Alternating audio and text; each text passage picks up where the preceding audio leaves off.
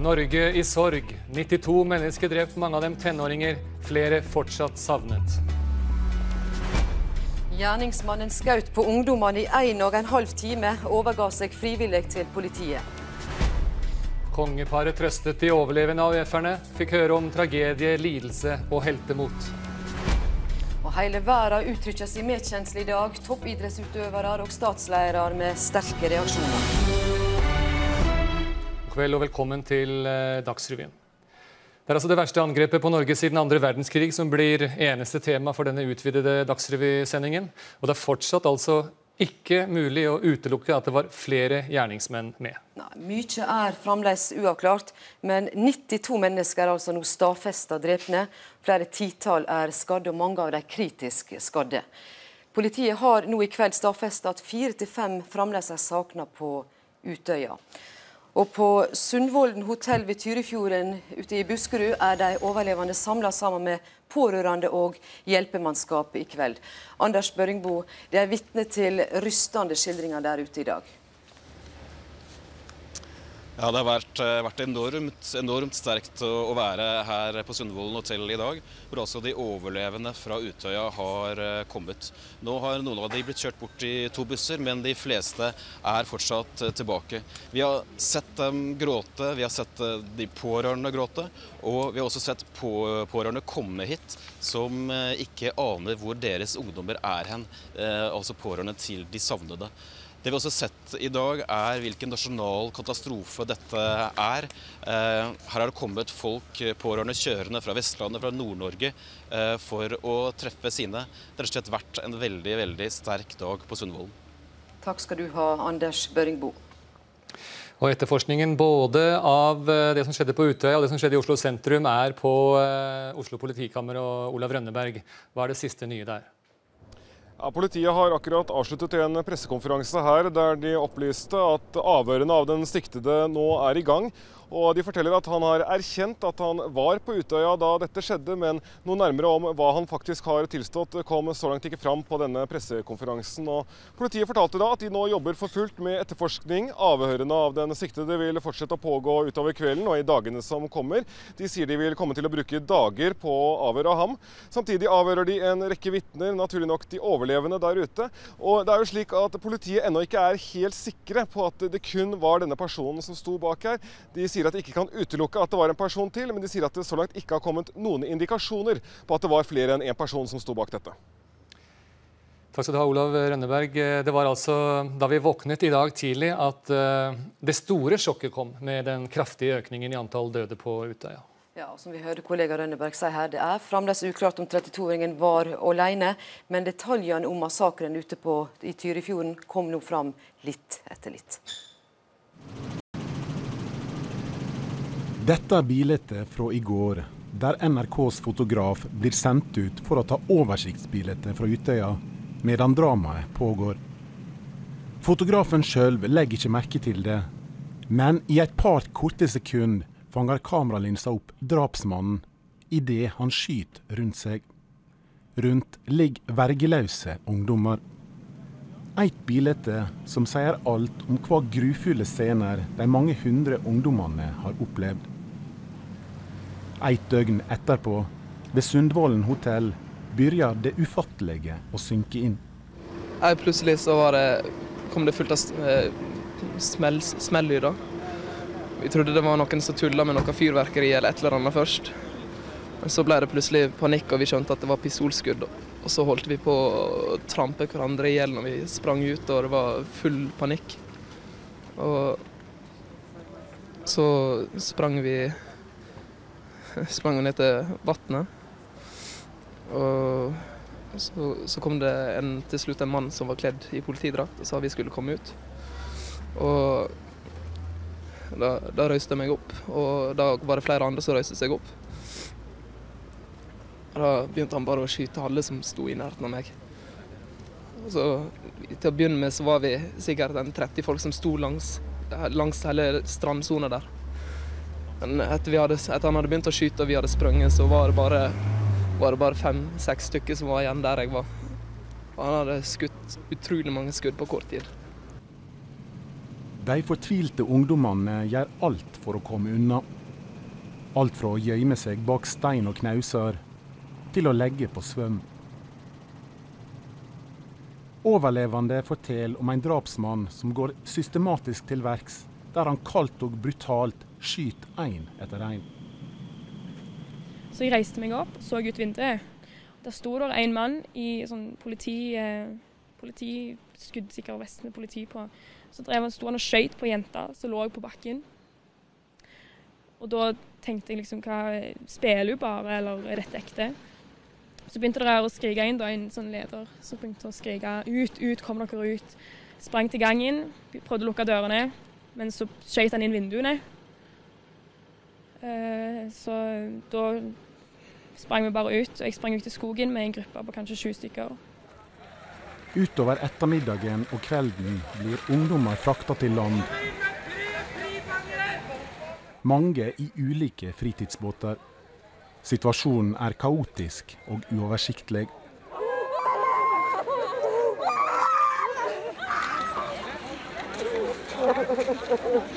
Ungdommene har bak seg et døgn de aldri kommer til å glemme.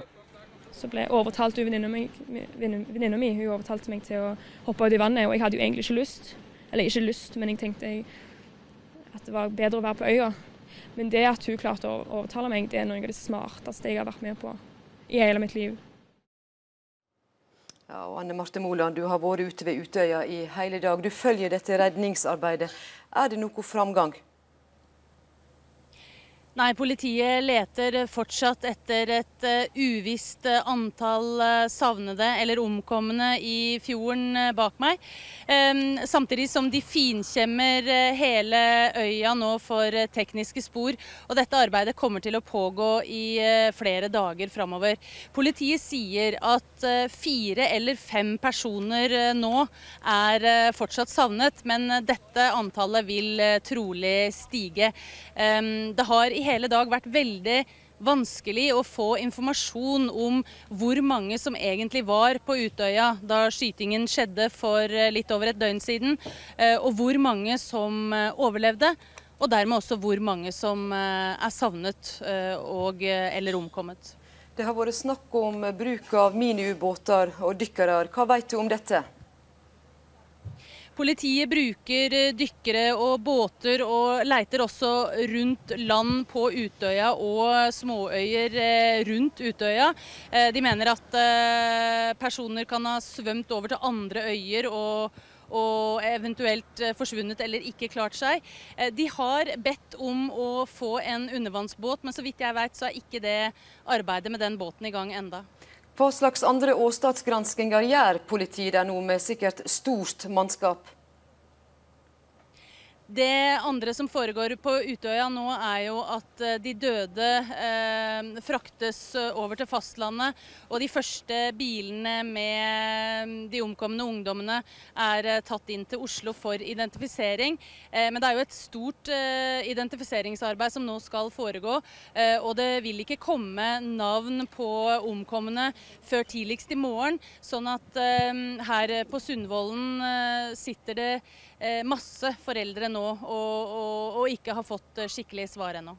Det er en underlig ro på fjorden bak deg der, Anne Marte. Er dette blitt en stad der mange samles også med blomster og lys eh, denne kvelden? Ikke akkurat eh, her eh, som vi står. Dette området er blitt eh, godt sperret av, sånn at Utøya ligger langt bak og er ikke den første øya dere ser rett bak meg, men, men lenger bak. Og det er også sperret av for båttrafikk nå mens de omkomne fraktes fra Utøya og inn til fastlandet. Så her som jeg står, så er det stort presseoppbud av norske og internasjonale journalister, eh, men, eh, men ikke pårørende i dette området. Takk skal du ha, Anne Marte Moland. I ettermiddag var eh, både kongen, dronningen og kronprinsen på Sundvolden hotell for å være sammen med de overlevende og deres familier. Ja, og Statsminister Jens Stoltenberg var også til stede, sammen med et par andre statsråder. En klem, en støttende skulder, noen som bryr seg. Han kom for å vise medfølelse på vegne av en hel verden, en nasjon, men også på vegne av seg selv. Jeg har det Jeg har det vanskelig. Fordi det er en, en veldig, veldig krevende situasjon å møte så mange mennesker som har det så vondt som de menneskene jeg møtte nå. Statsministeren skulle etter planen besøke sitt sommerparadis Utøya i dag. I stedet møtte han berørte av tragedien som utspant seg der, på Sundvolden hotell like ved. Sommerparadiset var blitt til et helvete. Det har gjort veldig dypt inntrykk på meg å møte de pårørende. Eh, møte mennesker som har mistet sine nærmeste, de de er mest glad i.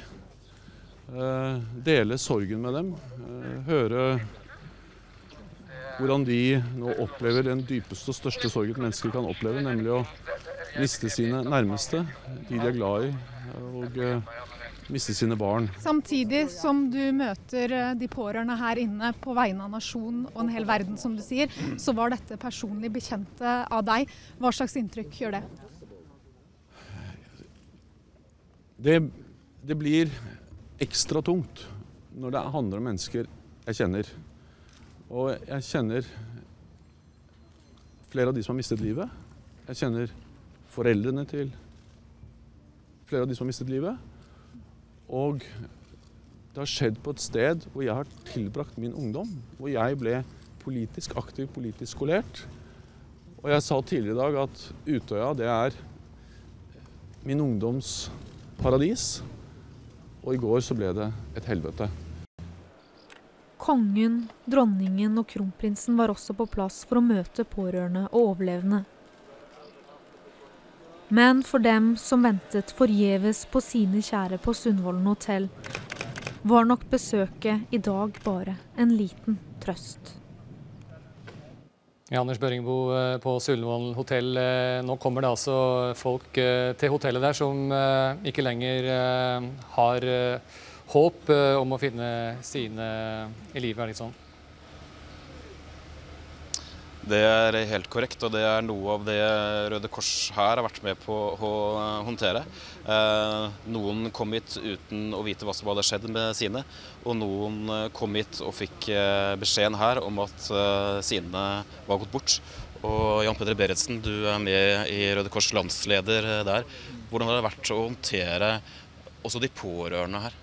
Men dette har vært en dramatisk dag. Eh, og det er klart det har vært en dag med store svingninger. Fra i formiddag fikk inn eh, overlevende eh, fra øya, og nå til vi har igjen da pårørende til de omkomne. Så dette har vært en, en tragisk dag og en vanskelig dag. Både for de pårørende og, og etterlatte. Er det mulig fortsatt å forklare de pårørende at det er noe håp? Det er, det er, vanskelig. og Det vi nå prøver å, å, gjøre, det er å være en støtte, være en hånd å holde i. og det å, å prøve å være her sammen og, de, og dele sorgen eh, med dem. For det er klart at dette er vanskelig, og det er vanskelig å ta inn over seg at noe så ufattelig kan skje. Har du vært med på noe lignende overhodet? Nei, jeg har ikke det. Og dette er en, en, så dramatisk hendelse, så vi har vel ikke sett uh, noe av, denne, av, dette omfanget noen gang her i landet i alle fall. Og, og, og, dette blir en prøvelse for hele det norske samfunnet. Og vi må vise at vi står sammen, og at vi er til støtte for hverandre. Hva slags type oppfølging har da ungdommene og UF-erne fått? Eh, de, de, får nå hjelp fra kriseteam og fra, fra, det profesjonelle. Men eh, like viktig er det jo at vi som medmennesker at vi kan være til stede. De, vi har gjerne ikke svarene, men vi kan være der. og Vi kan uh, bare være stille sammen eller vi kan prate sammen og, og vise at vi, at vi, er sammen om dette og at vi skal være støtte for hverandre. Vi så kort tid siden at to busser med ungdommer kjørte vekk. Hva skjer med dem, og er det i så fall riktig å sende dem hjem så fort? Ja, dette blir nå vurdert eh, både av de som er involverte og av det profesjonelle helseteamet som er, rundt i. Det er klart at eh, Det som skjer videre er jo nå å følge opp eh, individuelt hver og en, og at hver og en familie får den oppfølgingen som, som de trenger. Og det er klart at Den situasjonen som de ungdommene som reiser herifra, den er også vanskelig. For på ene øyeblikket så har de mistet mange av sine venner, og på den andre siden så er man selvfølgelig glad for å være i live og komme fra dette med, med, med helsen i behold. Så her er det en, en stor miks av følelser. og og det krever at vi eh, sammen prøver å bearbeide disse opplevelsene. Men du, Dere vurderer at det er eh, greit at ungdommene kan reise herfra nå, dersom de ønsker det? Ja, og det er det jo som sagt det er de profesjonelle helseutøverne, psykiatrikere og, og prefter og leger som, som sammen uh, mener hva som er, er best for dem. Og, og, det er klart at de fleste vil vel hjem til, til, sine. Det vi i Røde Kors har gjort, er at vi har åpnet alle Røde Kors-utene rundt i hele landet, i, i, alle distriktene våre, slik at uh, pårørende og venner og familie kan oppsøke Røde Kors-huset uh, for samtaler der. Her har det vært uh, veldig unge folk uh, på leir helt ned i kanskje 12-13-årsalderen. Hva, hva, har vært utfordringene med det fra din side, fra ditt ståsted? Altså, utfordringene her det er jo å, takle inntrykkene og, den, og, summen av inntrykk. ikke sant? I forhold til at det er så mange som er, er, skadelidende, og det er så mange uh, tragedier og, og, pårørende involvert, at, at, det blir tøft følelsesmessig også for oss som, som hjelpemannskaper. Så det er klart at dette har vært en veldig tung dag for oss. Noen av ungdommene har altså begynt å reise hjem, eh, men pårørende venter eh, fortsatt eh, her på sine savnede. Tusen takk til Anders Børringbo. Da sier vi velkommen i studio til Jens Stoltenberg. Først får vi uttrykke medfølelse fra vår side også, som leder av Arbeiderpartiet, med det som har skjedd i dag. Dere har hatt et regjeringsmøte nå i ettermiddag. Stoltenberg. Hva har dere bestemt der? Det vi har diskutert der, er eh, koordinering mellom helse, eh, ulike redningsetater, politi, forsvar og mange andre ting. Men vi har eh, bl.a. også blitt enige om at vi skal ha ett minutts stillhet på mandag. At vi vil også legge til rette for nasjonale minnemarkeringer. Men det viktigste nå er jo hvordan vi kan hjelpe de som fortsatt savner sine nærmeste. Gjøre alt vi kan for å redde liv. Det er fortsatt mennesker på sykehus, skadde, hardt skadde. Eh, og uttrykke medfølelse, omtanke, varme til alle de menneskene som nå har mistet eh, sin nærmeste. Men er trusselsituasjonen og den skal si, eh, terrorsituasjonen er den avklart eller ikke nå? Vi følger de råd, politifaglige råd vi får fra politiet. Politiet har ikke anbefalt å høyne trusselnivået. De jobber jo nå med etterforskningen. Men så langt har ikke politiet gitt opplysninger som tyder på at det er flere som står bak. og Hvis det er tilfellet, vil det også selvfølgelig ha betydning for vurdering av trusselnivået. Det avgjørende for oss er å eh, lytte til eh, faglige råd fra politiet. Så det er ikke lenger noen terrortrussel mot eh, Oslo og Norge? Vi har ikke høynet trusselnivået, men det er fortsatt usikkerhet. Og politiet har fortsatt ikke utelukket muligheten av at det kan være flere som sto bak. Mm. Men politiet har heller ikke Eh, eh, varslet eh, eller anbefalt noe økt trusselnivå. Så så vi også deg på innslaget her, var oppe på Sundvolden og møtte ungdommer som nettopp hadde berget livet, og som hadde begått heltedåder osv. Du, har, du er oppvokst på Utøya. Hvordan var det å treffe disse ungdommene? Nei, Det var en veldig sterk opplevelse. Det var en vond opplevelse, fordi jeg møtte mennesker som hadde det veldig vondt. Som forsto at de aldri ville se sin bror, sin søster, sin kamerat eller sine barn igjen. Eh, og de menneskene går det ikke an eh, å trøste. Det går an å formidle omsorg og varme, men ingenting kan gjøre om det. Men jeg møtte også mange ungdommer som var veldig tydelige på at de ikke skulle la seg skremme til å slutte å være engasjerte, til å være aktive. Og de sa at den beste måten de kunne hedre de som hadde mistet livet på, var å være mer aktive, mer engasjerte, nettopp for å vise at de ikke lar seg skremme til taushet av vold. Men det er altså mange av dine venner eh, som hadde barn, som eh, er innblandet her. Mm. Og du kjente sikkert også flere av, mm. eh, av ungdommene. Hvordan kan eh, dere bare si at eh, vi går videre? Vi går ikke bare videre. For det første så er vi ikke ferdig med dette. Vi vet fortsatt ikke akkurat hvor mange som har omkommet. Det er fortsatt mennesker som ligger på sykehus. Og vi må som nasjon både eh, fortsette eh, med den varme, den medfølelsen, den samlingen vi nå viser som nasjon, for å vise omsorg til de menneskene som er rammet. Vi må også som nasjon eh, senere finne måter å markere, hedre de som har mistet livet. Fordi et verre voldsangrep har ikke Norge opplevd siden krigen. Og det kan man ikke bare gå forbi. Så forstår jeg at du skal på befaring i kveld i eh, regjeringskvartalet. Stemmer det? Hva, hva skal dere gjøre der? Justisministeren og jeg eh, eh, skal befare området. Det er jo veldig dramatisk at flere av departementene er helt ødelagt. Og det er jo det som gjør dette angrepet så spesielt. At det er angrep mot en viktig del av vårt politiske styringssystem, regjeringsbygningene. Men i tillegg så er det angrep mot noe av kjernen i demokratiet vårt, nemlig aktive, engasjerte ungdommer på en politisk ungdomsleir. Og jeg mener Det er viktig å være til stede begge steder. og Derfor vil vi også nå befare ødeleggelsene i regjeringsbygget. Da skal vi ned og se hvordan det ser ut her. Tusen takk, Jens Stoltenberg, for at du kom. Skadeområdet i Oslo sentrum var naturlig nok avsendt også i dag. Det gjenstår et enormt oppryddingsarbeid etter bombeeksplosjonen i kvartalet.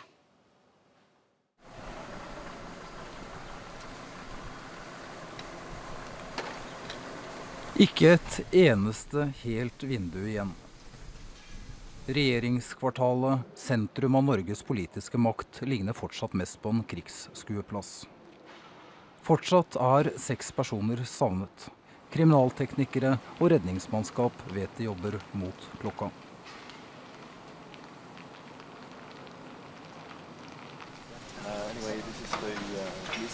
USAs ambassadør dukker opp. Han ønsker å se det med egne øyne. Han er like lamslått som alle oss andre. hope that we can understand fully what happened here, and the Norwegian people understand this, and uh, the American people are with them, and we'll do whatever we can to help. I morges begynte den møysommelige jobben med å tømme hus og veier for tonnevis med knust glass. En slagmark smadrede bygg etter bygg.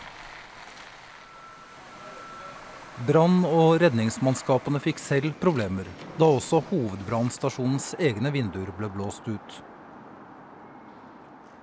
Utenfor sperringene skuelystne. Det er stillere og mer ettertenksomt enn vanlig.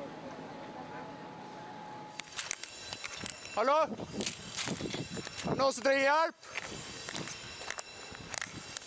Klokken 14.57 høres et drønn over hele Oslo sentrum. Et signal om en ny tid. For en by som aldri helt vil bli den samme. Det ropes om hjelp fra bygningene. Sju personer er bekreftet døde. Minst 15 personer er meldt skadet. Men fortsatt er altså seks personer savnet eller har ikke gjort rede for seg. Midt i Oslo sentrum, midt i det politiske episenteret av Norge, den til da mest alvorlige terrorhandlingen som har skjedd på norsk jord. Så viste det seg at det kun var begynnelsen. For Anders Behring Breivik satte seg i bilen og kjørte mot Utøya for å begå en enda mer grufull handling. Ja, da skal vi til politihuset. Olav Rønneberg, du har med deg politiet om det siste nå. Ja, Politiet har jo nylig avholdt en pressekonferanse her der de har redegjort nærmere for etterforskningene også hva som skjer i forhold til den siktede. Jeg har med meg politiinspektør Einar Aas. Hva er så langt status i forhold til avhør av den siktede? Kan ikke komme inn på detaljer knyttet til avhørene, men eh, de løper.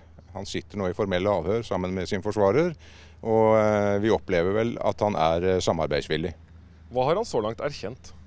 Eh, kan ikke kommentere det, som sagt, eh, detaljert. Eh, men det ligger jo i sakens natur, hvis jeg sier at han oppleves som samarbeidsvillig, at det er progresjon. Hvor sikre er politiet på at det var kun denne personen som var involvert i dette? Enn så lenge så har vi ikke holdepunkter for at det var flere. Men som vi har sagt helt siden eh, dette fant sted, vi tar høyde for alle eventualiteter. Vi følger opp alle eventualiteter.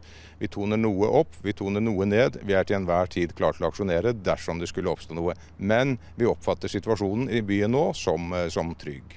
Hvilket bilde har dere så langt dannet dere av denne personen som er siktet? Det kan jeg ikke kommentere, det blir eh, feil. Så jeg kan verken, verken kan eller vil kommentere det. Hvordan jobber politiet videre nå? Vi jobber på en veldig veldig bred front med alt tilgjengelig materiell, alt tilgjengelig personell. Alt fra den tekniske undersøkelsen på åstedene via den taktiske etterforskningen til et eh, relativt stort operativt apparat som skal ta hånd om nettopp de eventualitetene jeg nevnte. Og Der forfølger vi stadig vekk noe, og er klar til å forfølge andre eventualiteter. Det at det er så vidt mange ofre her, eh, hvor krevende gjør det politiets arbeid? Det er både krevende og vanskelig. Eh, dette er jo noe vi aldri har opplevd før. Eh, det ene er den profesjonelle siden av det. Det andre er eh, at man blir preget av det. Men vi håndterer dette slik vi skal. Sier vi takk til Einar Aas. Det er altså Oslo-politiet som har fått ordre fra Riksadvokaten om å lede etterforskningen av denne saken. Takk skal dere to ha. Knut Magnus Berge, her hører vi de si at det er framgang i avhøret av den sikta, og han er også villig til å snakke. Hva mer vet de om det han gjorde ute på Utøya? Ja, Det er jo kommet fram noen detaljer om dette grufulle som skjedde på Utøya i går. Vi vet nå at det pågikk i en og en halv time. Hvis en tenker etter hvor lenge det er, det er altså et ufattelig drama, og det ble drept 85 mennesker der ute. Det er nesten én drept per minutt i en og en halv time. Eh, så vet vi òg at eh, da politiet kom eh, etter at dette hadde pågått i en og en halv time, så overga han seg frivillig med en gang. Det reiser jo selvsagt spørsmålet var det mulig for politiet å være der før. Vi vet også at journalistene og fotografene kom i helikopter før politiet. Er det grunn til å påpeke i dag at politiet var seint på åstedet? Nei, jeg syns det er altfor tidlig å konkludere på noe. Men det er klart at det reiser spørsmål når disse detaljene kommer fram. Politiet holder igjen og mener noe mer utad om identiteten hans. Hva vet vi, Knut Magnus? Vi vet om 32-åringen eh, at han har vært aktiv på ulike nettsteder, at han erklærer seg som nasjonalist, at han er anti-islamist. Eh, og eh, vi vet altså at han har vært aktiv i en slags ideologisk debatt med høyreekstreme eh, synspunkter. Eh, så kjenner vi en del til bevegelsesmønsteret hans. Vi vet at han nylig flytta til Rena, og at eh, det er nå stadfesta at da han i løpet av april og mai kjøpte inn store mengder kunstgjødsel, som da er et materiale som kan brukes til å lage bomber. Vi hørte politi, Einar Aaser i politiet sa at han har forsvareren sin. Politiet vil ikke si så mye om hvem dette er. Det holder også igjen informasjon. Det er kanskje viktig dette i denne fasen av etterforskningen. Når det gjelder forsvareren, så er det forsvareren sjøl som har ønsket å være anonym. Vi kan vel bare anta at det er for å lette sin egen arbeidssituasjon. Eh, når det gjelder etterforskninga, så er det jo én sentral detalj som vi ikke har vært innom nå, nemlig spekulasjonene rundt om det kan være en andre gjerningsmann inne i bildet. Der sier politiet nå at de ikke kan utelukke at det altså er flere gjerningsmenn. Hva betyr det Knut Magnus, at de ikke utelukker, samtidig som de ikke fokuserer mye på det i, eh, i brifinga? Altså, mitt inntrykk er at det ikke er politiets hovedspor. Hvorfor ikke? Men, men, nei, fordi at de antar vel, går jeg ut ifra, at det er mer sannsynlig at han har gjort det alene. Dette er spekulasjoner, mm. og eh, jeg syns vi skal være forsiktige med spekulasjoner og oss, holde oss i hovedsak til de brifingene som, som politiet kommer fortløpende. Viktig påpeking der. Takk skal du ha, Knut Magnus. Det er altså en uh, stor uh, sorgedag for uh, hele Norge, og kronprins Mette-Marit var tydelig beveget da hun og kronprinsen viste sin støtte og sympati nå i ettermiddag ved å besøke blomsterhavet utenfor Oslo domkirke. Også barna prinsesse Ingrid Alexandra, prins Magnus og Marius var til stede sammen med dronningen. I hele dag har folk lagt ned blomster og lys i sorg over eh, det som har eh, skjedd. Og kong Harald holdt for ikke lenge siden en tale til folket. Politiet, hjelpemannskaper, helsepersonell og frivillige har kjempet for å redde liv og gjort en heltemodig innsats for oss alle. Også med fare for egne liv. Alle er vi preget av dette ufattelige som har slått inn over oss og har med vantro tatt imot nyhetene om det økende antall døde. Både som enkeltmennesker og som nasjon vil vi bruke lang tid på å fordøye og bearbeide inntrykk, sorg og følelser. I denne prosessen trenger vi hverandre. Over hele landet har mennesket mistet noen de er glad i. Det er mange barn og unge som er redde i dag. De må vi ta spesielt godt vare på. For mange er det viktig å være sammen, mens andre har behov for stille refleksjon.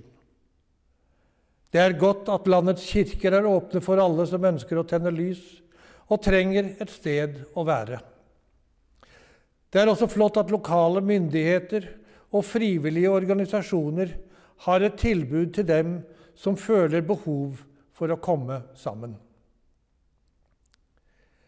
Det er fremdeles mye vi ikke vet om bakgrunnen for gårsdagens grufulle hendelser. Og det er viktig at vi lar de ansvarlige arbeide med å få klarhet i dette. Men noe vet vi. Handlingene som ble utført i Oslo og på Utøya, er et angrep på det norske samfunnet vi setter så høyt. Og de er et angrep på kjernen av det norske demokrati.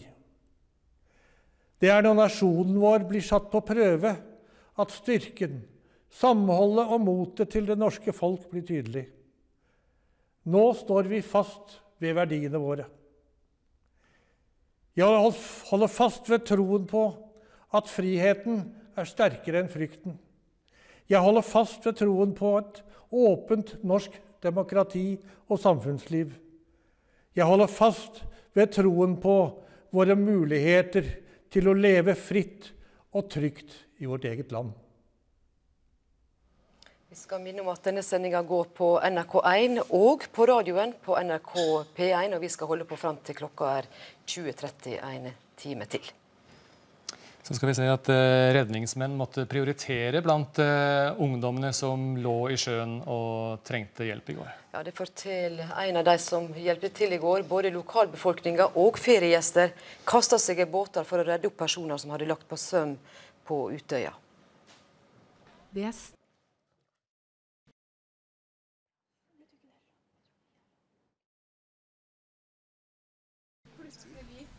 Det er stille. Det er stille på Utvika camping i dag. Alle har sitt å tenke på etter gårsdagens mareritt som skjedde bare 500 meter ute i fjorden.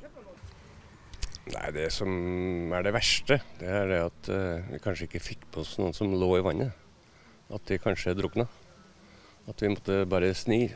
Altså, Vi kunne ikke ta om bord flere. Det er jo det verste. Det ja, det var helt tragisk. Hvordan har du det i dag? Helt jævlig. Han var en av dem som hjalp til i går. For lokalbefolkningen og feriegjester langs Tyrifjorden kastet seg i båter for å redde ungdommer på flukt fra Utøya.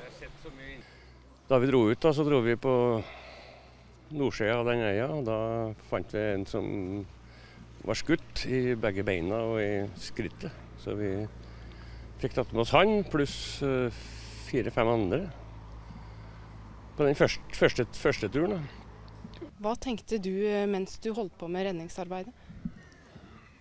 Nei, altså Vi måtte bare velge. altså Hvem skal vi ta med, og hvem skal vi la være igjen? Altså Det var et uh, uh, forferdelig valg å ta. Altså Noen skreik, og vi, så tenkte vi at båten gikk under. Vi kunne ikke ta med mer folk. Og, så det var helt jævlig. For det var så mange ute i vannet? Ja. Det var det. Og mange satt i berghyller. Og, og vi måtte bare prioritere. Så vi kjørte inn mellom 35 og 40 stykker, tror jeg. Men også feriegjestene som hjalp til på land, synes det er vanskelig å takle det de har vært med på. Han fraktet ungdommer i bil fra campingen og til Sundvolden. Det var rimelig tøft å se når jeg lånte bort telefonen til de som satt i bilen min. Og ringte hjem til foreldrene sine. Ja, kan du fortelle om det? Nei, de spurte, spurte om dem, for de hadde jo ikke funnet, de hadde jo rota bort sine telefoner. Og spurte om de kunne få låne min og ringe hjem, og det syns jeg var veldig tøft. Så det gikk litt på meg. Og selv om tragedien er enorm, kan de på Utvik camping trøste seg med at de bidro med alt de hadde. Vi var jo veldig stolte av oss sjøl for at det, panikken ikke bredde seg. Var, alt gikk så rolig for seg. Vi, hadde, klart, hadde vi hatt panikk for det vi drev med, så hadde det vel vært helt kaos. Det er godt å få hjelpe i visse stunder. Vi skal se folk som har sett dette på lengre avstand, har altså strømmet til Oslo domkirke i dag. Ja, ved Stortorget så blir det fylt opp eh, framfor kirka med både lys og blomster.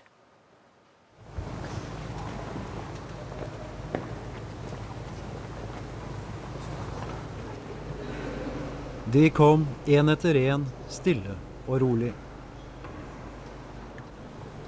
Helt spontant skjedde det. Sørgende mennesker strømmet til Oslo domkirke for å finne trøst og fellesskap.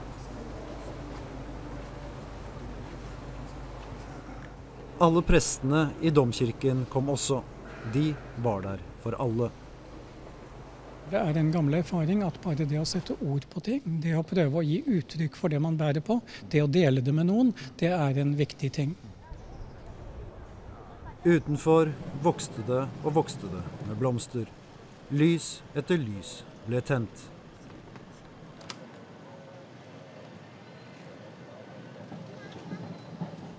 Det var en hovedstad og en nasjon i dyp sorg og med mange ubesvarte spørsmål. Men mange likevel med et håp. Jeg håper at vi klarer å stå sammen og komme styrket ut av det her. En helt meningsløs tragedie.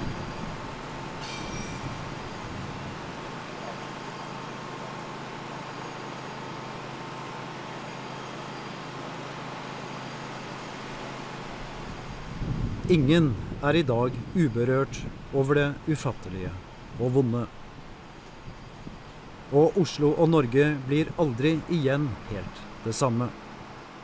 Vi tok besluttet vi åker hjem i dag, faktisk. For det, det har jo tatt bort eh, stemningen, så å si. Ja. ja. du ser jo selv, man, kjenner, man tenker på at man skaker. En bevegelse og ett parti er spesielt hardt rammet. I dag var Oslos gater tomme, regnfulle og preget av sorgen.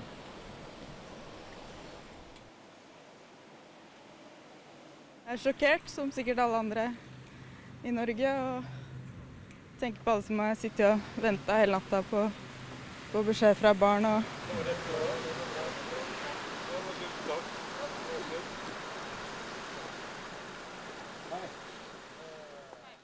Da skal vi ned til eh, Stortorvet utenfor Oslo, hvor eh, folk altså valfarter for å vise sin medfølelse med det som har skjedd eh, nå i kveld.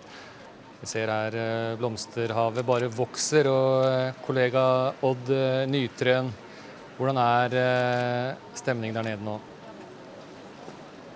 Det er som du sier at blomsterhavet og antallet lys det bare vokser. Her kommer folk stadig strømmende til. Enten ved at de står her ute ved, ved domkirken utenfor og legger ned blomster og, og, og tenner lys, eller de beveger seg inn i, i, i kirken for å, for å, å minnes eh, og for å, sørge. Vi kan eh, snu oss bare rundt her og se litt på det havet av hilsener og blomster. Her står det Eh, Bl.a. på vegne av palestinske flyktninger i Oslo kondolerer vi på det sterkeste til kongeriket, Norge og familiene og ofrene. Det viser jo litt av det mangfoldet, kan vi si, og den eh, brede oppslutningen eh, dette, denne tragiske hendelsen har fått. Folk strømmer til, og vi ser Karl Johan bak der. Odd, vi snakker om trygghet og Oslo, som altså i går ble rammet av et terrorangrep. Er ditt inntrykk av at folk eh, føler seg trygge ved å gå rundt i Oslos gater nå i kveld? Ja, det har jeg absolutt følelsen av. Folk som er her, er rolige, de er fattet. De, de, står stille og rolig og, og, og, og ser på det som, det, det som skjer. Og, de, og, de, virker som de har til en viss grad fått det verste på, verste på, av, verste på avstand. Tusen takk skal du ha, Odd Nytrøen, med oss utenfor Oslo domkirke. Da skal vi ønske velkommen til deg, Grete Dyb. Du er barne- og ungdomspsykiater og jobber bl.a. med traumatisk stress. Og Du er en av de som nå gir råd til helsestyresmaktene i denne situasjonen. Hva slags råd gir de nå? Altså, det finnes jo mye oppdatert kunnskap om hva, både barn og voksne trenger i en slik situasjon. og Vi er en av de miljøene som gir helsemyndighetene råd om hva som bør gå ut nå til de kriseteamene, til de hjelpearbeiderne som møter disse menneskene, og som skal møte dem i en god, lang periode fremover. Det er utrolige skildringer vi har hørt gjennom hele dagen, og det de har opplevd, spesielt på Utøya. Mm. Hva har de opplevd? Hva ord vil du bruke? Nei, de, veldig Mange av dem har jo vært i reell livsfare og har oppfatta det sjøl.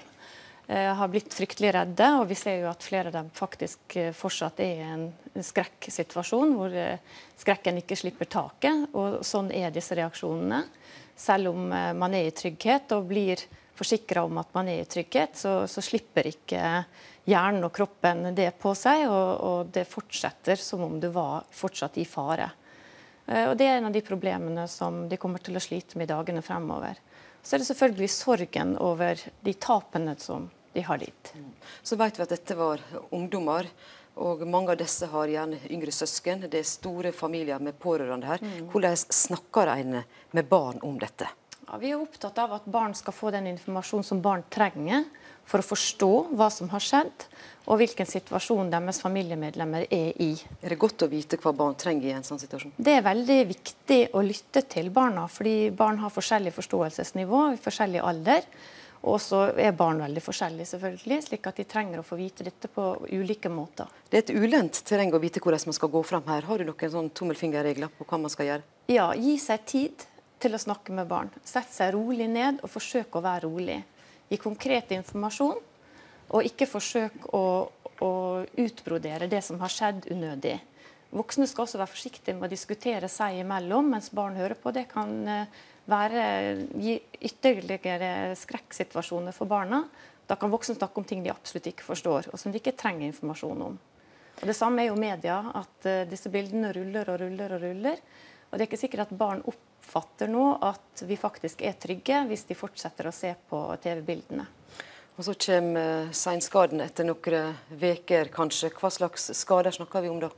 Det er veldig naturlig og det er veldig normalt at de aller fleste har akutte stressreaksjoner nå, med søvnvansker. Eh, hendelsen kommer tilbake på veldig mange måter. Eh, man opplever fysiologiske reaksjoner, dvs. Si at man svetter, skjelver, har hjerteklapp osv. Problemer med å sove og spise. Etter hvert så vil det klinge av for de fleste. Etter fire til seks uker så er de aller fleste akutte stressreaksjonene over. Men da kan jo de som har eh, vært utsatt for mye, oppleve at det kommer andre reaksjoner. Takk skal du ha, Grete Dyb, for at du tok deg tid i kveld. Anders Børingbo, eh, du er fortsatt på Sundvolden. Vi hører eh, tidligere i dag AUF-ere som sier at eh, vi lar oss ikke knuse, vi skal ha tilbake Utøya som leirsted. Hvordan vil du beskrive stemningen blant de unge som har vært her oppe i dag?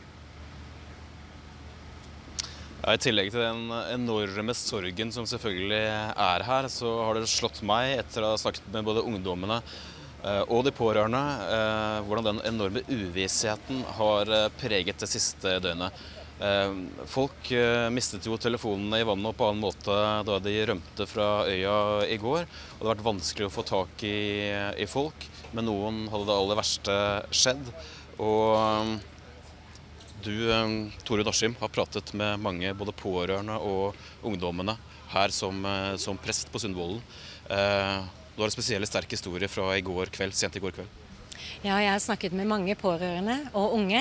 Men i går var det en mor og en far som var spesielt sterke for meg. De sto ved inngangen til hotellet, og de ville ikke gå inn.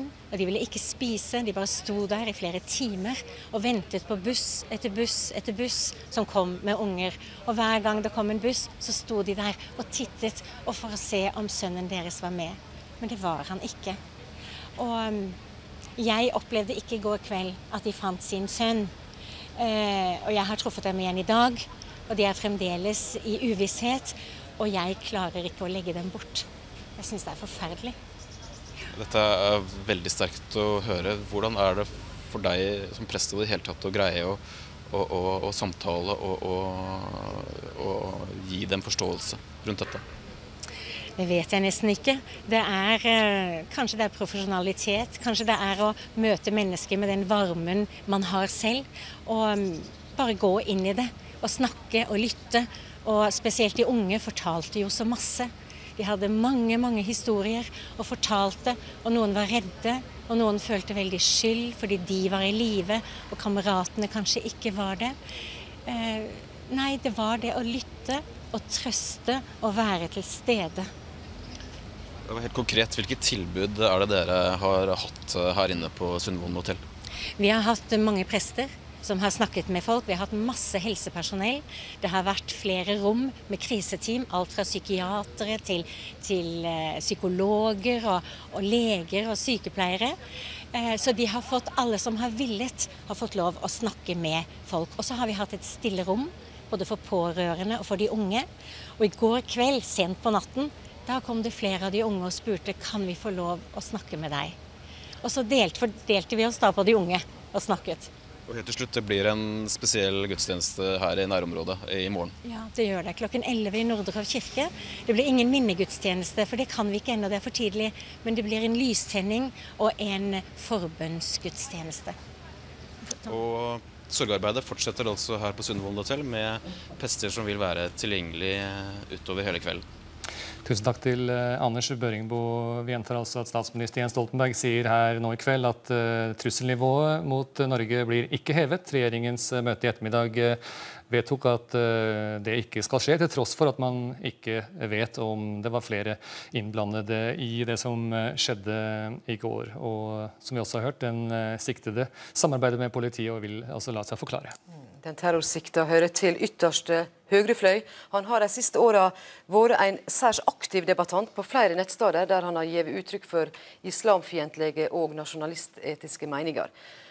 Og han eh, har også vært og kjøpt eh, kunstgjødsel ganske mye også. Det har han. Eh, Anders Behring Breivik kjøpte seks tonn kunstgjødsel fra Felleskjøpet, og mye tyder på at han har brukt det for å bruke deler av den bommen som gikk av i Oslo i går. Denne gården kan være utgangspunktet for det verste angrepet i Norge siden andre verdenskrig. Den arresterte 32-åringen fra Oslo vest flyttet hit til Åsta i Hedmark for en måned siden. Naboene merket ikke noe spesielt da han kom bort for å hilse på dem. Veldig høflig, blir nesten litt for høflig, kanskje. Klik. ja. Hva tenker dere nå da, etter det som har skjedd? Syns det er helt forferdelig at vi har bodd siden til en massemorder som kan ta livet av så mange unge folk. Anders Behring Breivik er 32 år og vokste opp på vestkanten i Oslo. Tidligere klassekamerater er sjokkert. De beskriver ham som en skoleflink, rolig og omsorgsfull person. Ja, det er jo helt, eh, helt forferdelig. Ehm, når jeg tenker tilbake, så ser jeg aldri for meg Anders som en, en person som kunne stå bak noe sånt nå. Behring Breivik skal ikke ha vært politisk interessert i ungdomsårene. Han var del av et kroppsbyggermiljø i hovedstaden, og skal ha vært borti noe småkriminalitet som tagging. Det virker som han har tatt en, en helt, helt, annen retning eh, enn en det vi kjente han fra på, på, ungdomsskolen. Så jeg kjenner ikke han igjen i det hele tatt på det som har skjedd nå. Den terrorsiktede skal ha tre skytevåpen registrert på seg selv, og han er medlem av Oslo pistolklubb. Men ledelsen sier de aldri har sett ham være aktiv i sportsklubben. 32-åringen hadde ingen yrkesmilitær bakgrunn, og han fikk fritak fra verneplikten fordi han skulle være hjemme hos sin pleietrengende mor. På Facebook-profilen sin skriver han at han er konservativ kristen, og at han driver med interaktive rollespill. I de siste årene har han vært en flittig debattant på flere nettsteder, blant dem dokument.no, der han i flere innlegg har gitt uttrykk for nasjonalistiske og islamfiendtlige holdninger. Dette er en samling av de ordene han brukte oftest. I dag ble det også kjent at Behring Breivik, tidligere var medlem i Fremskrittspartiet, til han meldte seg aktivt ut i 2007. Før dette hadde han lokale verv i ungdomspartiet FPU. Det føler jeg bare ubehag ved. Eh, men dette er jo først og fremst en avskyelig handling begått av denne personen. Og det er rettet mot oss alle. Det er rettet mot hele Norge, mot alle de verdiene vi tror på. Eh, og mine tanker går først og fremst nå til alle de som er eh, rammet av denne forferdelige, avskyelige handlingen. Nå må vi stå sammen. Teknikere fra politiet har i dag gått gjennom gården siktede leide. Her mener de sprengstoffet kan ha blitt laget. Stedet kan være valgt fordi det ligger øde til. Og det er én ting naboene har reagert på.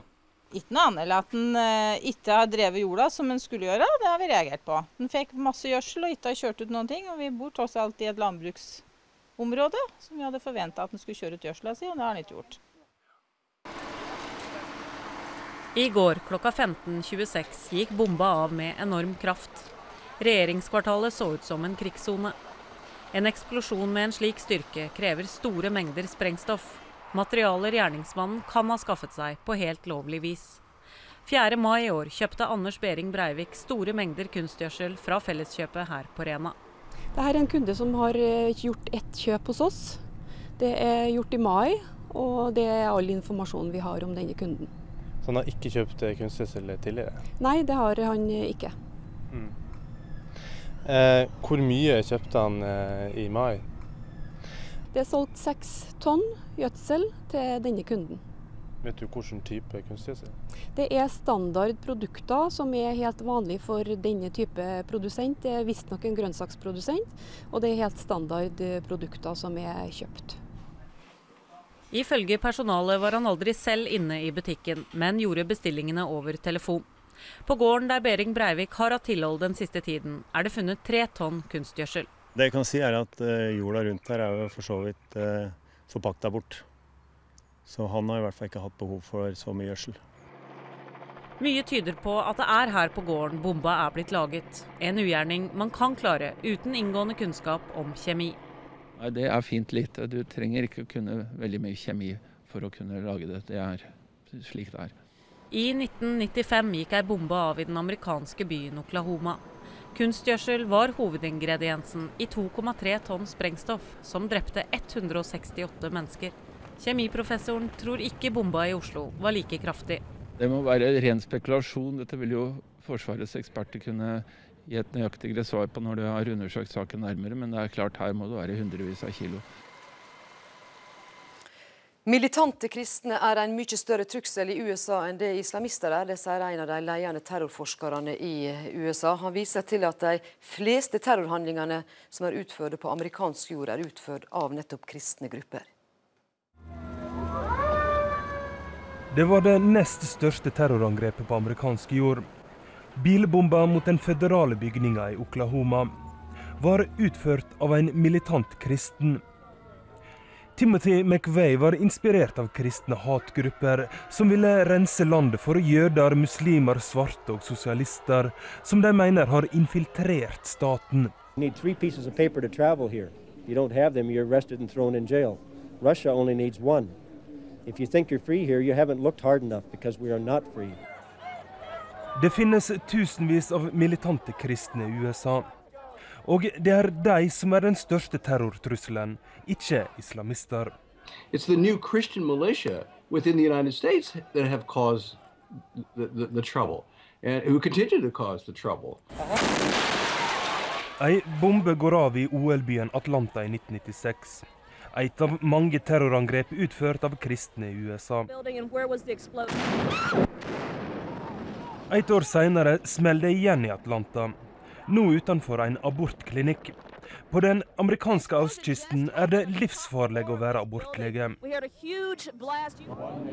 Og rundt om i USA vokser det stadig fram nye militante kristne grupper. All of these are part of a Christian uh, militia that is trying to seize a sense of, if not power, at least recognition and, and, and symbolic control uh, through acts of violence. 168 mennesker omkom i Oklahoma i 1995.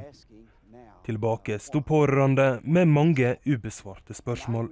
Perhaps our people could have accepted it more easily if it could have been shown that some foreign power came into our country and, and performed a deed like this.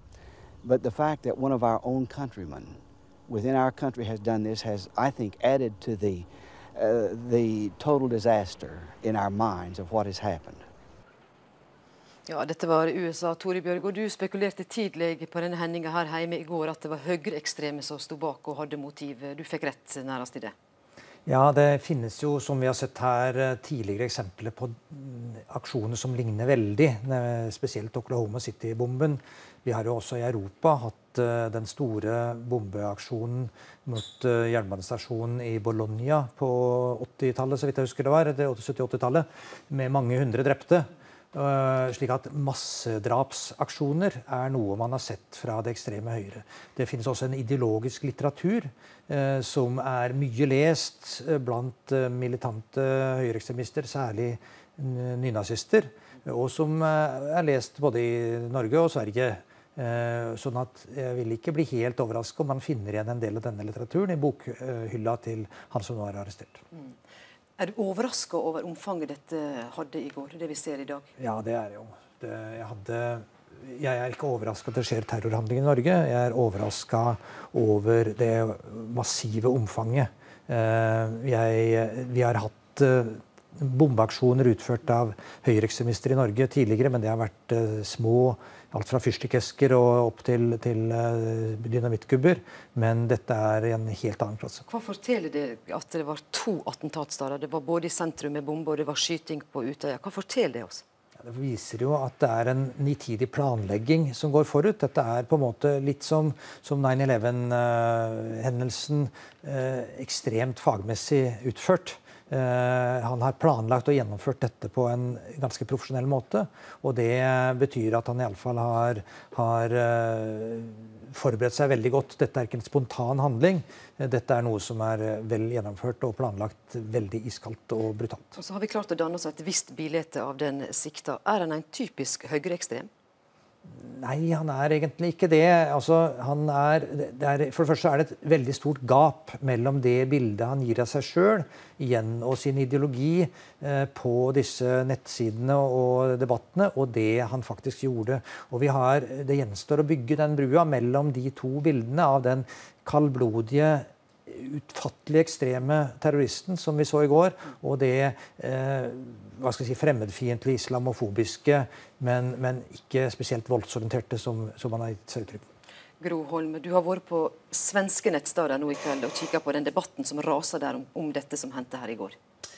Ja, og det er da særlig et nettsted eh, som jeg søkte på nordisk, et nettverk han skal ha vært medlem av selv, eh, og kom til et annet nettsted. og Der eh, gikk debatten høyt fra den ene ytterligheten, som var tydelig beundrende til hva han hadde oppnådd. At han faktisk hadde planlagt og klart å gjennomføre. Først ta regjeringskvartalet, så eh, dra ut på Utøya. og Det var en slags eh, profesjonell beundring for det han hadde oppnådd. Til andre som tok skarpt avstand fra det, og som sa, en som, blant annet, som sa at Eh, hvis eh, dette her eh, er det våre folk gjør mot sin egen rase, eh, så tviler jeg på mitt eh, verdenssyn. Eh, og han sa at jeg er spyferdig over, over det jeg hører. og det var flere også, faktisk en overvekt av de som var kritiske til dette, til at en av deres egne slo til mot egen rase. Hvis vi snakker litt om PST, Gro. Hadde de oversikt over en person som den sikta? Altså Det virker jo ikke som de har hatt det. Og, Skjema fra intet? Eh, vel, Vi vet ikke hva PST har hatt, men de kan neppe ha fokusert på han. Eh, da ville de nok ha stusset over at en person med en liten gård der han ikke driver jorda sjøl, kjøper så mye kunstgjødsel. Eh, så eh, mye tyder vel på at PST har brukt mesteparten av ressursene sine eh, på eh, radikal islamisme. Og kanskje kan man si med ettertid, etterpåtidens klokskap at de har forsømt litt eh, de høyreekstreme miljøene. Ja, Du vil påstå det. Altså, men PST har ikke vært kjent for å gå ut med for mye informasjon til Nei, oss. Så vi vet ikke egentlig. Vi vet ikke egentlig. Vil de gjøre det? Men, vil de gå ut med mer informasjon? Det tror jeg du skal spørre PST om, men jeg vil jo tippe at det gjør det. Bjørgo, eh, hvordan er Ja, du kan få svare på det først. Ja, vil de gå ut med mer informasjon, tror du? Ja, det, det vil nok etter hvert komme fram noe mer. Eh, men det er klart det, det er viktig å holde igjen? Eh, I denne situasjonen så går ikke de ut med det de vet nå. Eh, hva de har visst, det vet vi jo ikke, men dette, klart, dette er en person som var vanskelig å fange opp på radaren fordi at han ikke ga uttrykk for spesielt ekstreme synspunkter. Helt kort, Er det høyreekstreme miljøet i Norge stort? Nei, Det er lite, men det er annerledes enn det var før. Det er mer, mer debatt-internettorientert, litt mer intellektuelt enn det var for ti år siden. Der må vi avrunde. Takk skal dere ha. Angrepene i Oslo og Utøya har dominert mediene over store deler av verden også i dag. Og statsledere fra hele verden har i dag sendt kondolanser til det norske folk.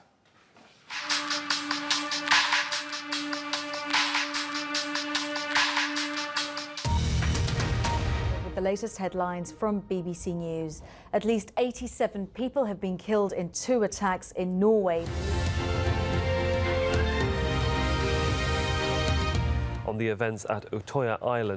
Over mesteparten av verden er terroraksjonene i Norge toppsaken i nyhetene. Og verdens statsledere fordømmer angrepene og gir uttrykk for sorg og solidaritet med ofrenes familier og norske myndigheter. FNs generalsekretær Ban Ki-moon sier i en uttalelse at han er sjokkert over det som har skjedd, og at FN står sammen med Norge i denne forferdelige tiden. Også USAs ledere er rystet over terroraksjonene strikes right at the heart of uh, the soul of a peaceful people. Norway is well known for its efforts to resolve conflicts, bring people together. Uh, it sets a high example for uh, social entrepreneurship. Uh, and this uh, terrible uh, event is especially heartbreaking because so many of the victims were young people.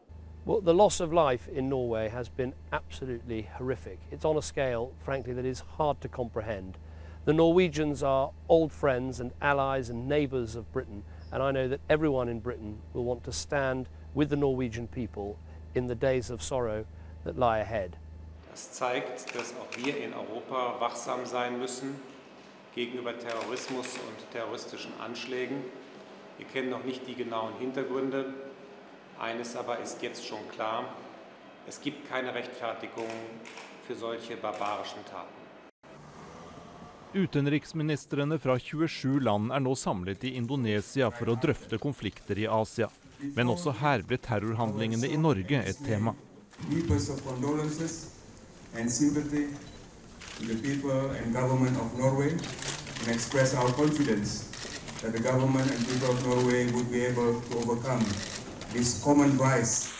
Russlands president Dmitrij Medvedev fordømmer også angrepene og kaller dem uhyrlige. Slik terror kan ikke rettferdiggjøres, understreker den russiske lederen. I Washington har vi korrespondent eh, Anders Tvegård. Hva sier folk eh, i Washington du har snakket med om det som har skjedd i Oslo og Utøya de siste to dagene? Nei, Amerikanerne er, eh, er, sjokkert, og det beviser, viser nok en gang at uh, terroren kan slå til hvor som helst og, og, når som helst. Jeg har naboer som har kommet til meg i, i hele dag for å uttrykke uh, sympati og støtte, og andre nordmenn jeg har vært i kontakt med, forteller om det samme. Uh, dette her er et samfunn som også har kjent på, på, terroren, og vet hvor viktig det er å, å stå samlet nå. Ja, USA har også kjent på slike sinnssyke voldshandlinger som det Oslo og Utøya nå har eh, sett. Eh, hvordan er dekningen i media? Hvordan vinkles den? Eh, mange som kjenner Norge, de, de som gjør det, er jo opptatt av at vi har et åpent og lite samfunn. Ja, Det er fortsatt uh, toppsaken her. Uh, på bilder, grufulle bilder fra Oslo, fortellingene om, om gjerningsmannen. Uh, også avisene her i dag har dette på førstesiden, sammen med budsjettforhandlingene som, som har kollapset. Amerikanerne har lagt vekt på å spørsmålet om eh, Norge har vært forberedt på dette her. De har vist til Wikileaks-dokumentene fra tidligere, har, eh, hvor den tidligere ambassadøren sendte beskjed hjem om at Norge ikke var forberedt. Så har eh, debatten gått i retning av at Norge har mulla Krekar i landet. Man har vært, eh, fått trusler etter profettegningene, eh, slik at eh, myndighetene har vært forberedt på terrorisme. Eh, Norge får mye omtale på samtlige kanaler her, og det er stor interesse og stor medfølelse fra USA. Er det det du sier at det er litt eh, kritikk da, Anders, eh, mot at vi har hatt garden for lavt i Norge? Det har vært spørsmål om det, og, det kommer jo an på hvilke fjernsynskanaler man også ser på. Noen er f.eks. Fox News, som tilhører høyresiden her. Eh, mener jo at politiet nå må finne ut om det kan være flere som står bak. Det kan være frykt for uh, lignende angrep, uh, enten i Norge eller her i USA. Det kommer an på hvilke, hvilke kanaler man, man, ser på, som sagt. Men generelt så er det fortvilelsen og de grufulle bildene som det fortsatt snakkes om. Norge får ikke kritikk i, i, i den forstand. Takk for at du var med i Dagsrevyen, Anders Tvegård. Ja, Fra USA skal vi ut til Europa, der denne saken også preger nyhetsbildet. Et helt kontinent er sjokkert over denne massakren. Nyhetsredaksjonen i belgisk TV står på hodet. Ferien er avbrutt, ekstramannskaper er kalt inn, og det streames minutt for minutt fra Oslo. People are talking about it all the time, and it's so emotional. It's about young people, it's about 14 to 20 year olds that die and people react to it like this could happen to me. Goedemiddag. 91 I dag er nesten hele nyhetssendingen viet terrorangrepet. Og de kan knapt tro det de ser på bildene fra Norge. Det er en av de største sakene i Europa på lenge, ifølge nyhetsredaktør Sonens. Do you think they are shocked that it's happening in Norway? I think so, because it's not far away. It's free Europe, it's a Western country, and suddenly there's one individual who takes his big gun and starts shooting people like a wild man. I dag er det blodig Oslo som pryder alle europeiske aviser, enten de er italienske, spanske eller franske. Ingen hadde trodd at uh, fredelige lille Oslo kunne bli åstedet for en terrormassakre. I Brussel har nyheten kommet som et sjokk. Det er saken alle snakker om i dag. It's horrible. I mean, I was totally, totally surprised that it can happen, and even, uh, especially in Norway. I mean, you don't expect that that can happen in Norway. Extremism is never good, neither in religion or other opinions. It's never good. And I think you don't expect it in a country like Norway, not immediately. Eh? It's always yeah, terrifying because it can happen also here. Det alle nå lurer på, er hvordan en slik tragedie kunne skje. Ja, Hege Mo Eriksen, Vi ser reaksjonene ute i Europa her. Hva sier de nå i kveld etter nye opplysninger om uh, tallet på omkomne? Ja, Denne saken sjokkerer og fyller rett og slett alle aviser, alle TV, radio i hele Europa. Storavisen El Pais i Spania sender live på nettet minutt for minutt. Italienske medier kjører store saker på gjerningsmannen, og alle følger altså med. Og så strømmer det også på med støtteerklæringer og kondolanser. Frankrikes president Nicolas Sarkozy at han fordømmer på det sterkeste denne barbariske volden. Og her i Belgia sa statsministeren at eh, Belgia står klar til å hjelpe Norge dersom Norge har behov for noe som helst. Og så understreker alle statsledere at man nå må stå sammen i Europa for å hindre at eh, dette kan skje på nytt. Hva sier de om hvorfor det er ekstra sjokkerende at det er Norge som er råka av dette? Ja, Alle syns at det er veldig sjokkerende at dette har skjedd i Norge. Alle sier at ingen hadde trodd at Norge kunne bli rammet på denne måten. Og eh, avisen El Pais f.eks. skriver en artikkel som har tittelen 'Terror i lykkelandet', hvor man da skriver at Norge var tidligere landet hvor det aldri skjedde noen ting. I går endret alt seg. I dag sier man at selv ikke i Norge er man trygg lenger. Slik at det alle lurer på, er om Norge nå har mistet uskylden sin på den måte, i den forstand at det er første gang at vi nå opplever en ufattelig tragedie, og man lurer på om det kommer til å endre det norske samfunnet. Takk skal du ha, Hege Mo Eriksen. Skal vi se at det også kommer reaksjoner fra sportens verden. Tor Hushovd og Edvald Boasson Hagen var begge tydelig preget av tragedien og forteller at hele Tour de France-feltet i dag snakket om det som skjedde i Oslo og Utøya i går. De to nordmennene valgte sin egen måte å vise sympati på foran millioner av TV-seere verden over. Edvald Boasson Hagen i norsk mesterskapstrøye og med sørgebånd på høyre arm for å minnes de drepte i Norge. 24-åringen var tydelig preget av det som har skjedd på dagens tempoetappe i Tour de France. Det er ikke lett å konsentrere seg, men jeg må bare prøve å gjøre så godt en kan. Og jeg tenker på alle de som er ramma der, og det er veldig tragisk det som har skjedd der. Og uvirkelig når du er her og ikke ser hva som har skjedd der. Det var en tydelig rørt Tor Hushovd som rullet fram til start på den 20. etappen i Grenoble. Verdensmesteren forteller at det siste døgnet har gått hardt inn på ham, og at hele Tour de France-feltet i dag snakker om tragedien i Norge. Jeg blir nok distansert fra det når en, eh, når en er i utlandet og, og selvfølgelig er opptatt eh, med sykkelløp. Eh, men det er jo nå en innser hvor lite betydelig akkurat et, et løp og, og sånne ting har å si oppi det hele. Edvald Boasson Hagen måtte bytte sykkel og ble best av de norske på tolvteplass.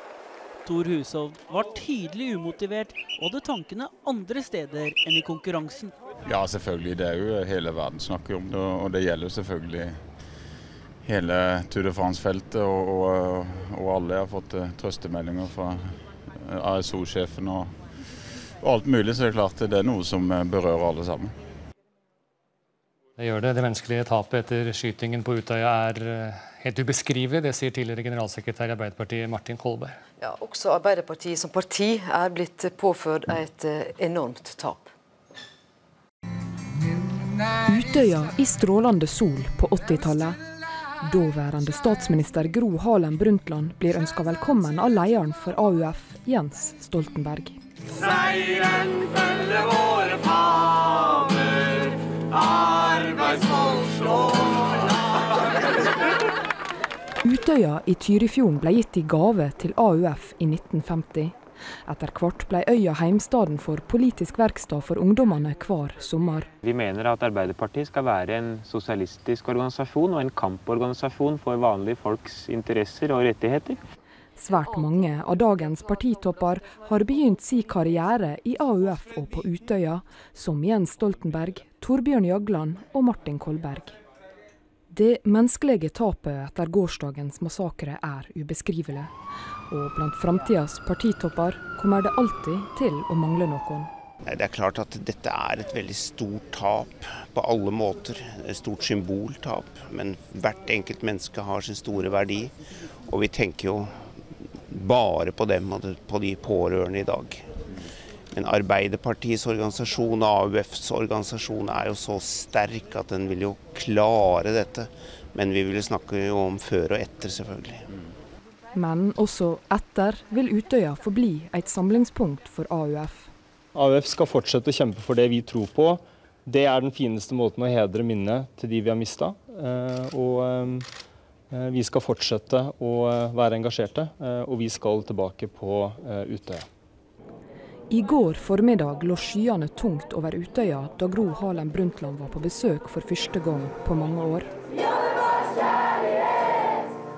Hun ble tatt imot til sang om kjærleik og vakre sommerminner.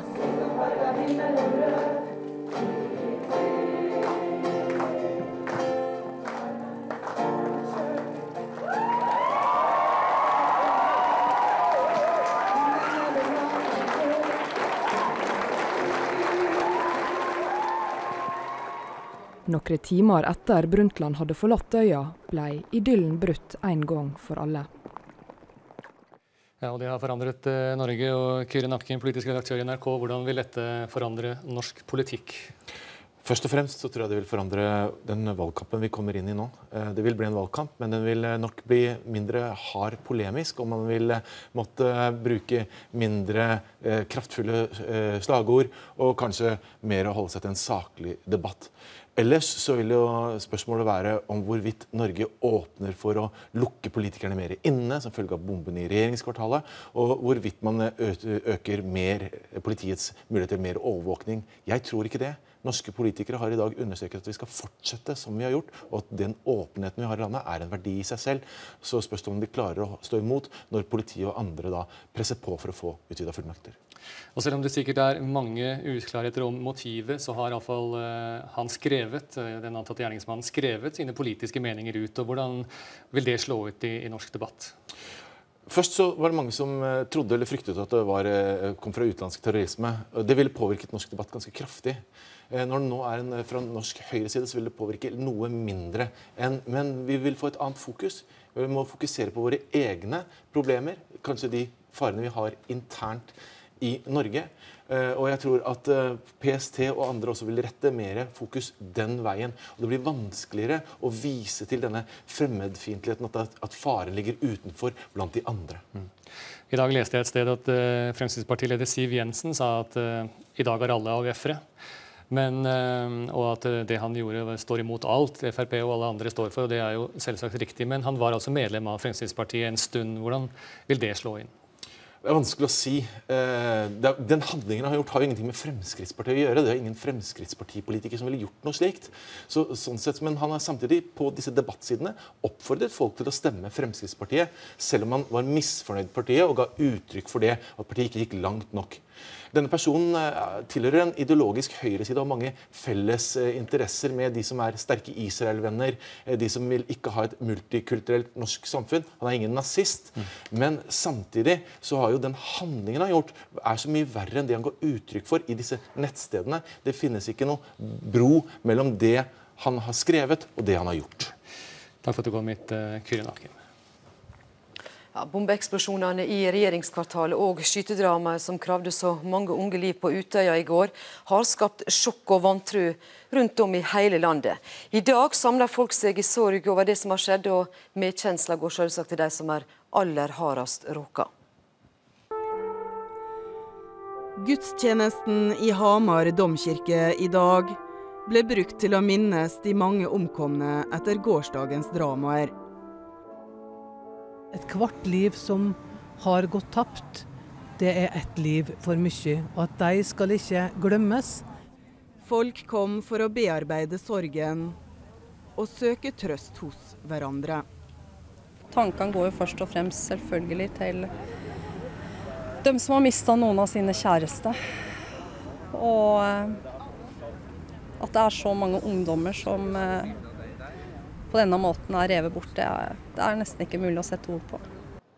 På rådhuset i Tromsø samler folk seg også i sorgens stund. Troms Arbeiderparti hadde sendt en delegasjon på 40 til sommerleiren på Utøya, som i går endte i et mareritt. Jeg syns jo at det, det, er grusomt, fordi det, det, gjør noe med oss når, når politikere blir et mål på den måten. Og jeg tenker at det kan få noen konsekvenser i forhold til eh, forholdet mellom eh, vanlige politikere og, og folk eh, der ute. Bombeeksplosjonen i regjeringskvartalet og skytedramaet på Utøya har sjokkert tidligere statsminister Kjell Magne Bondevik. Dette er jo forferdelig og dramatisk og en nasjonal tragedie som gjør at jeg som alle nordmenn kjenner på både sjokk, på sorg og på medfølelse med de som eh, er aller hardest ramma. Eh, og her i Molde så forvandla den vanlige glade streetparaden som på avslutningsdagen for jazzfestivalen seg i dag til et uh, sørgetog gjennom byen. Og som endte opp i domkirka, hvor vi hadde ei en fin stund sammen. Og det å få være sammen i en slik situasjon er viktig for oss alle. Flaggene vaiet på halv stang i Østfold over den nærmest ubegripelige tragedien i går. Altså, det er så helt ufattelig, og det er, eh, det er ubegripelig at noen kan uh, gå hen og massakrere unger på den måten her. Da skal vi til Nordland og kollega Gisle Forland. Flere av de som var på Utøya skal være på vei eller har kommet fram nå til regionen din. Jeg vet ikke om de har landa der? Nei, Flyet som er chartra, som skal ta mange av disse ungdommene til Nord-Norge, har ennå ikke tatt av fra, fra, Gardermoen. Men mange av de 92 ungdommene som eh, reiste ned til sommerleiren fra Nordland, Troms og Finnmark, er venta og skal være med eh, det flyet. Ehm, det vi vet, det er jo at en av ungdommene fra Troms er bekrefta omkommet. I tillegg så er fortsatt eh, tolv ungdommer fra Nord-Norge blant de som er savna, og flere er alvorlig skada. I tillegg så vet vi at en del foreldre har valgt å kjøre ned sjøl for å hente eh, sine nærmeste på Sundvolden hotell. De um, har ikke hatt um, De har valgt å, å ta turen ned dit sjøl, istedenfor å vente på at de eventuelt skulle komme, komme hjem. Men eh, Nordland Arbeiderparti har i dag jobba på spreng for å få på plass eh, fly som kunne ta disse ungdommene hjem. Så Det første, det flyet som kommer nå, det lander først her eh, i Bodø nå i kveld. Og så skal flyet ta resten av ungdommene som skal til Troms og til Finnmark eh, videre etter det. Og Det er lagt opp et opplag for ungdommene som kommer hit. Det skal være en debrifing eh, for de som, eh, som kommer tilbake igjen. Og det skal være opplegg også i kirke i Nordland, Troms og Finnmark, hvor det skal tennes lys for de som har behov for å møtes og, og, og samles her. Og Jeg har med meg lederen i Nordland Arbeiderparti, Bjørnar Skjæran aller først, hvilke tanker gjør du det om det som har skjedd? Nei, Det er jo en uh, vanvittig tragedie vi har vært vitne til, som har eskalert noe uh, grusomt utover det her døgnet. Og Våre tanker går jo selvfølgelig først og fremst til de som har mista eller ikke har oversikt over hvordan det står til med deres kjære. Du har sjøl avbrutt ferien for å komme hit, og dere jobber nå i Nordland Arbeiderparti med å, å, hjelpe så godt dere kan. Hva gjør dere? Eh, vi har hatt fokus eh, egentlig på tre ting i første omgang. Det ene er at vi ønsker å gi den støtten som er mulig for oss å gi nede eh, der de evakuerte ungdommene befinner seg. Så har vi hatt fokus på å få til en hjemtransport, og så har vi hatt fokus på at det skal være et apparat som tar imot ungdommene på en god måte når de kommer hjem. Hva, hva gjør dere videre da, nå i de nærmeste dagene? Det er jo eh, mange ungdommer her som sikkert har fått et traume for, for livet. Det er jo sånn at eh, vi har jo ikke profesjonell bakgrunn, eh, så vi har vært mest opptatt av å få i gang og sørge for at vi visste at de apparatene som finnes ute i kommunene, at de kriseteamene er oppe og går. Eh, men vi vil i tillegg stille opp med eh, våre eh, representanter der vi har de, for å være der for ungdommen vår. Og Flyet som eh, skal ta disse ungdommene hjem, det er altså ennå ikke letta fra Gardermoen, men det er venta at det skal ta av nå om ikke så altfor lang tid. Takk skal de ha fra Nordland.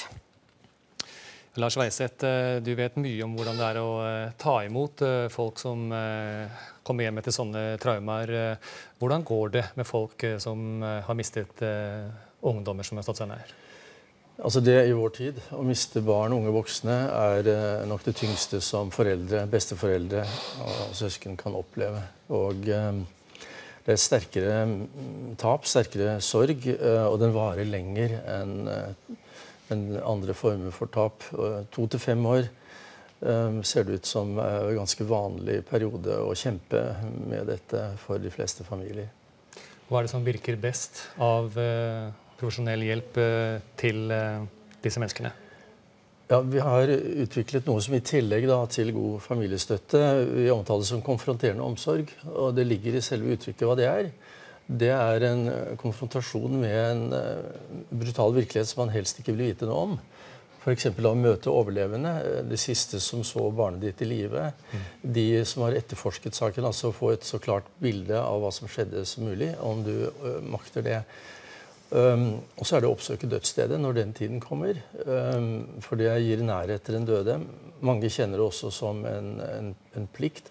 Husk at dette er mennesker som ikke kunne beskytte sine barn. De kunne ikke gjøre noe. De fikk heller ikke tatt farvel. Så det å legge til rette for slike ting i ettertid uh, synes har hjulpet uh, en del. Ja, Det hjelper jo mer når man får uh, visshet om ting. For uvisshet er da selvsagt det aller vanskeligste.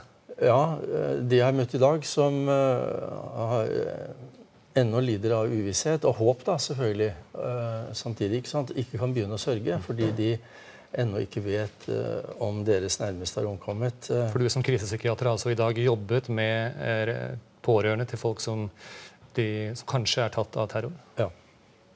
Og Hvor vanskelig har du opplevd det?